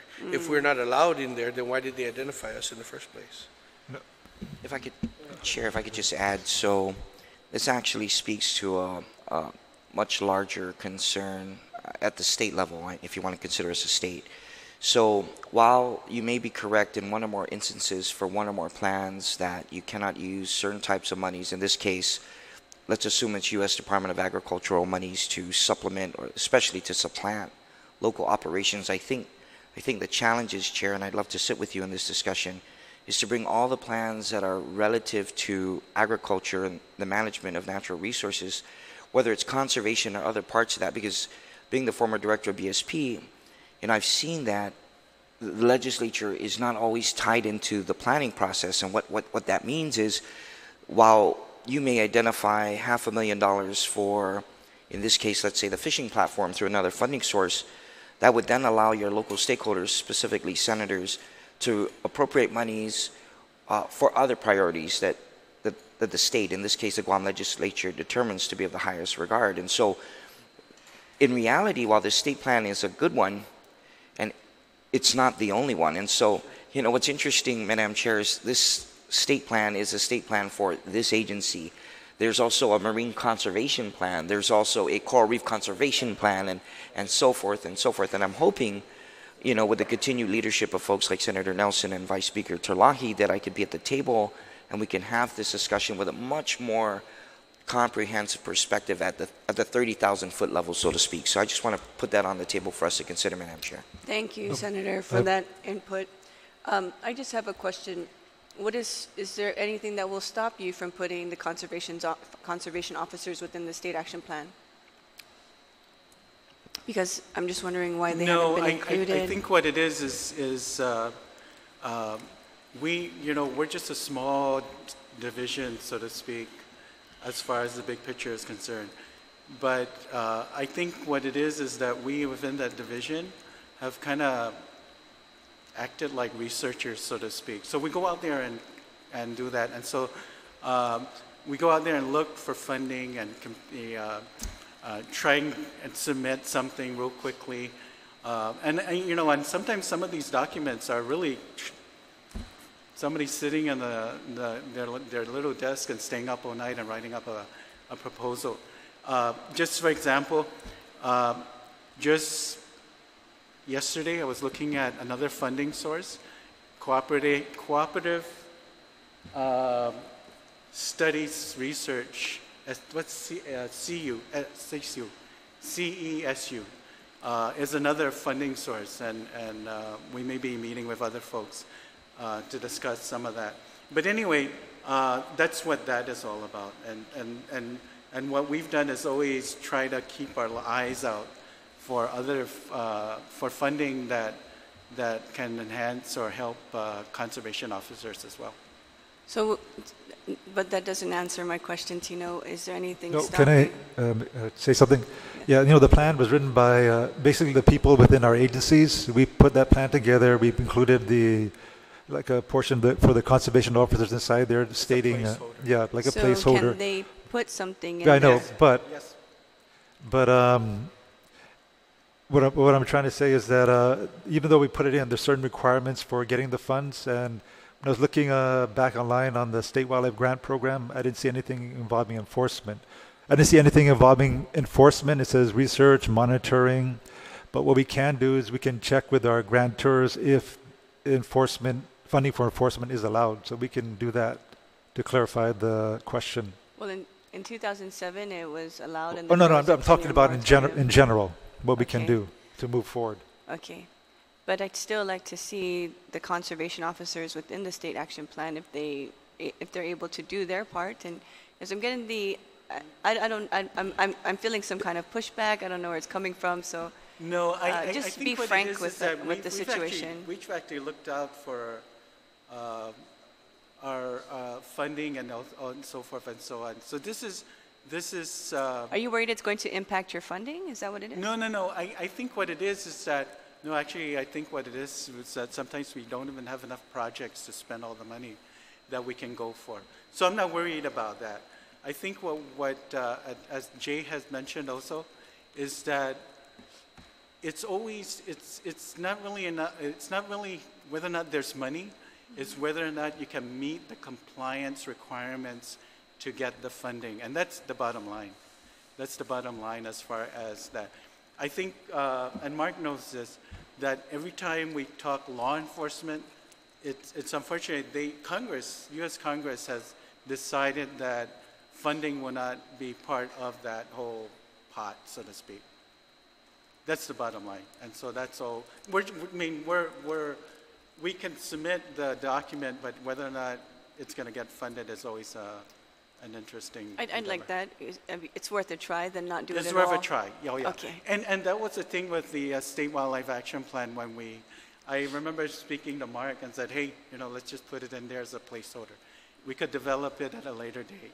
I'm sure they, they like uh, LT Aguon has stated, they, they've met some requirements in a, yeah, in, in some of them, so maybe, I don't think it will hurt since the requirements are being met, but I think it's worth a try instead of saying, we're. I agree. Yeah, I, okay. you So know, I, I, I'm willing, but, but. uh, So will you be able to help them to help you? We- we- We're always at the table, man, when it We're comes to. we're always doing that crane Okay. dance. Okay. Yes. you know, so long as there's a request for assistance and discussion, we're there.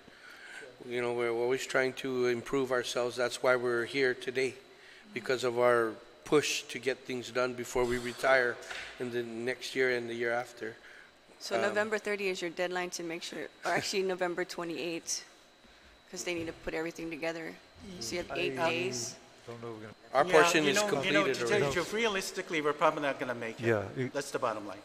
But. But just put it in by November But, 28th. but my feeling is, if we don't start now, we're not going to even meet the next deadline. We Thank could you, always Tino. submit a revision. There's nothing precluding us from saying, uh, But if early, if it's done in early eight next days, year, yeah. we could submit a revision uh, and say, this is our, our uh, uh, a revision, you know, for 2019, Mm-hmm. and put those uh, aspects of the, uh, of the uh, conservation officer's needs in that plan itself. And I think I've always looked at it as a, as a need to expand it, because it wasn't quite complete as a state wildlife. You have all the things pertaining to habitat, conservation, uh, public outreach, etc., but you don't have, uh, we didn't have much as far as conservation officer and, and enforcement as a, as a real Okay. need.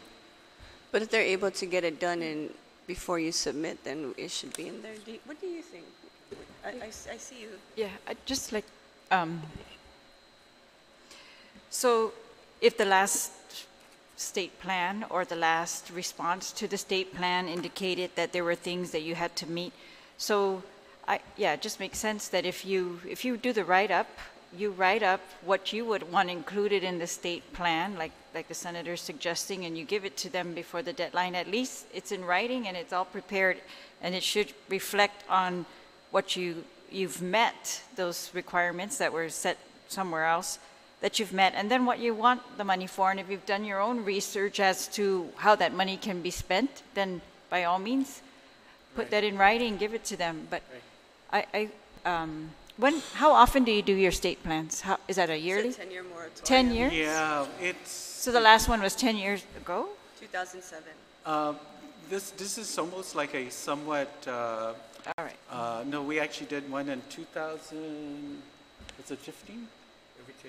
Every 10 years. Yeah, well, we, we did. But they're we did- we did a- We did a draft, we did a initial draft as far as that document. So you were, concerned. you So begun now- in and this is like 2016 to pre- prepare, to prepare for the, For the the next one, 10-year. Yeah, All right, but you're not done. No. All right. no. Okay. Um, I, I also just wanted to make a comment on the earlier discussion on, on, on the f- penalties. And uh, I appreciate the efforts and the initiative that you are making and as far as the enforcement side goes to, to do what you think is, is going to increase enforcement efforts, uh, make them more efficient and all that. It's a, it's a difficult concept, I think, to just, even me, to comprehend that we're going to change things from crime to, to merely fines, violations, civil fines, and that we're going to, that we are still going to have, um, you know, we're going to prevent the actions, right? And so I'm, I've heard your discussion on that. I've taken notes and I've wrote it down, and I, I understand you are the ones on the front line, and so you, it's, I'm willing to go with your advice on that. I just think it's kind of contrary to, you know, how we came up with criminal penalties in the first place. They were supposed to be a deterrent. But you're saying, and I understand completely that because of the way misdemeanor cases are being prioritized by the Attorney General's office, they are not prosecuting these cases, so the deterrent effect is zero. And so rather than having zero, we would rather have civil fine penalties. And that itself is a deterrent. Okay, But we have to look at it this way as well, if we want to streamline the thought process on how we're looking at it.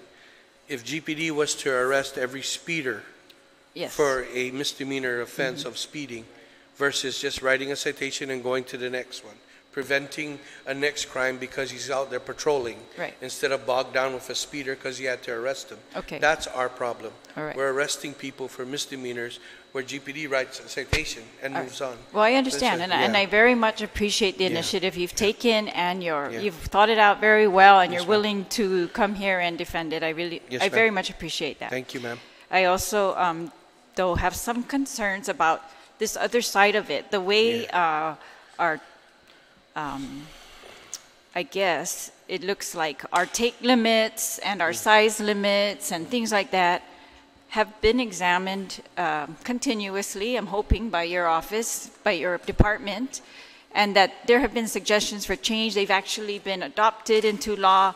They're not compiled, so they need to be redone. I mean, I would just go to the shortest, I agree with you, Tino, go to your shortest track, but don't hesitate. I'm, I'm a little concerned about why has it taken this long? If, if it was done at least 10 years ago and we've waited 10 years to actually get something enforceable, it's way too long when you're talking about the, the parts of our environment that you're talking about, our most precious resources. So it, I don't know, I'm just going to suggest you, some, some of these things sounds as easy as an email to the chair. Just send her an email and tell her which parts of the code you need changed. Um, those, or, or resend the document that the compiler does not have, and we can just readopt it again if that's the issue or, or whatever. But uh, whatever but I would hope that you've also updated it since then, right? How long ago was that? And are there updates that you would like to submit? And what, what is your time frame for that? You want to answer? Based I on your I- review I- of, of the impact on our yeah, resources, yeah. right? We're talking about You know- clams, you know, uh, corals, yes. Um, I think, I think we, we, that's one of the other things we, we need to do ASAP, uh, as far as the take limits and bringing those up to speed, because they are, they are dated. That's, that's no, uh, Well, that's, and so, well, how long can we do this? Um, Early next year, I guess, is, if, if that's, if that's uh, a good, I mean, uh, as good a timeline as I can. Uh, was that part of your plan? Was that part of your plan for the year to do I- that? I, I think what, what it was is, is it was, it's probably like all part of that state wildlife action plan and looking at all the different uh, aspects. I think what put it up to uh, the, the top burner, so to speak, was when uh, the Balati incident had occurred. right, Jay? And that was when we, uh, we said, holy moly, they're allowed 100 per day. Yeah, part of it was to update the fishing regulations, like the, they were talking about the Balati, the take limit. Then there's other things that we needed to get updated to. Also our ESA lists, which we we're going to do this year. Um, and we also wanted, since you brought up about the code, if we can also work with the, you guys, the legislature, to make a change on the ESA uh, Article 2. Because on 63205, 205 uh, C, it says annually the department shall promulgate a list of endangered species. Um, that list lasts 14 months after it is promulgated, and we would have to do it like every year. It's too cumbersome. We want to change it to the department shall promulgate a list of endangered species as needed. So only as needed, because it's it's too time consuming. What, Sure. what, uh, what uh, uh, probably emphasizes that, that particular strategy is that we've listed everything that Yeah. possibly we want to list anyway. that makes And so sense. we're, we just do it and be done with it. The other But my thing is- concern, Tino, is Yes. who in your division is in charge of um, requesting these updates or, or updating your rules and regs? We've, we, it's even an issue with, with the, um, the fishing in the boat basin. That we, when we had our roundtable before, it was the rules and regs were not updated or things like that. Uh, And so I just wanted to know who's in charge of The- doing that the and when are we? The unfortunate thing is that uh, uh, you're looking at him. He's in charge of everything. Hagu? yes, Guo. And, and unfortunately, that's the way it goes. I, I mean, I don't know how else. We all, uh, Well, we're here to help you then. we understand. If we can I uh, think, I think what help it you, is let's, that let us help you. We, under uh, the, uh, the GAR, the Guam Administrative Rules and Regulations, we have the procedure to follow, You- and you know those, right? And so we got to do public hearing, we have to do public notices. We, uh, uh, uh, then we uh, submit to uh, the governor now, right? That's, we, uh, anyway, it's the AG, we submit it to the AG. The AG submits it to the governor as per, uh, and so that's the whole process that we have to, to follow. We're, we're stuck at where we are, but I think if anything, it's just a timeline on which we uh, have to do these things. The, the endangered species list is one of those things that is already a straightforward thing, probably. Uh, But then all the updates need to be done as far as that goes. And that's good. Another thing we're proposing this year is um, some licenses and fees that I would talk to you later about that. Um, There's a bunch of stuff. Okay, so just, just to recap, um, we're going to have another meeting, and we're also going to discuss the offenses and the level of offenses, recurrences of offenses, and the fee proposed for each offense uh, with the uh, Attorney General and other stakeholders. Uh, The next we will do is the uh, Department of Agriculture will resubmit figures, well, not DOA, but you guys will resubmit the figures for length for every species within the next couple of weeks to the compiler of laws? Are we tracking that? um, I don't know about within the next couple of weeks. Uh, We're going to be working on the uh, action plan during, until the end of. The So after the yeah. action plan, perhaps? Okay, okay. And then we have the 600 feet contour in the compiler laws that reads 60 feet, so we need to make that correction. We also need to address the sea cucumbers for Yeah, that, non-commercial. that uh, 600-foot contour is also in the amended regulations as well. So we need to fix that, Yeah. as- we need to fix the 60 foot that is there in the laws, okay? Because it's a typo, I, yes, I I guess it is. okay. And then the sea cucumber for non-commercial use, change uh, the amount that they can, the take limit. And what, what did, we didn't put out a recommended number for take limit, you said five? Uh, Regarding, The 600-foot contour issue uh, was, was, uh, was uh, during um, Director Torres' time. Uh, What had happened was there was proposal up to the legislature, I believe. No, he said it was adopted. It's just a matter, it's the one that was Yeah. lost by the compiler, so that's, Yeah. that settled. Yeah, well, that's how it came about. Yeah, so that's. And it that's- wasn't adopted, but, yeah, it was not adopted. No, they what we said were it told. was adopted. oh, sorry, the regulations were passed, it just needs to go to the compiler of laws for their part. But you're following the 60-foot contour That's because correct. that's what's in the law. That's one that Right. was. So that, you not- just need to change the Yes, number. the 60-foot was not approved, Right. but it was inputted. It's a typo. It's not that Yes. no one did their The work. 600 It's just a was- typo. Agreed upon. That's what we were told. Okay, That's why we couldn't enforce it. Okay. Yeah. yeah. And then the sea cucumber take amount, five, five pieces. That's my recommendation. Okay. Per person, per day. Uh, Regarding that, because I usually attend some of the advisory meetings uh, with- and uh, with the Wespac Council, and you have some of the local fishermen that, are- uh, some of the local fishermen that are on the advisory committees. And one of the recommendations, there has to be a rationale behind why we're choosing five. So I need to get with the Marine Lab to find out that Okay. limit. So we needed like a scientific Yeah. approach more to, to that count. Yeah. Okay. So are we going to have to wait a couple weeks until after the state action plan? Probably. Okay. And then um, we're going to look at the option of excluding octopus for commercial sales. Is that, is that, okay? That's up because as of right now, it's a misdemeanor offense. Yeah. And then. Uh, want a need For that, or a want from local fishermen to exclude it from the law, but we, that's again up to others than, okay. And then you have the November 28 to input the conservation officer's piece yes, ma'am. into the Uh, state Before I action speak, with plan. Madam, to make it easier, and we'll do the follow-up on the specific, because we've been really looking at the state action plan. If you look at the old uh, state action plan that they're trying to do the revision, we're in there already with the five uh, priorities, with five requirements. We are in agreement with those requirements, right? That has, in other words, nothing has to be done, just keep it in place. I will, we will uh, follow up with specifics to each of those five steps that we are incorporating indirectly and to follow up with uh, DAR. Okay. I And we're just, going, I just also want to mention that some of the, if we're going to take out some species, I also need to consult with some of the technical staff that are working on these that are within our division as well. okay, and if you need more help or anything that you need from us to help you ensure that you are in the state action plan, you need to let us know because the deadline is November 30, and I'm asking you guys to get it done by November 28 so that they have time also to input it into their documentation. You're done tomorrow.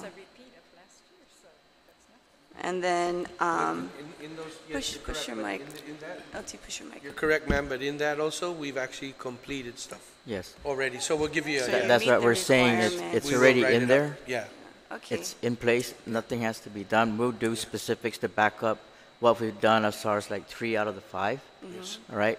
But there's no actual heavy-duty work, like doing uh, more research, because it's in place already in the old plan. it's already in, a- in. It's in place.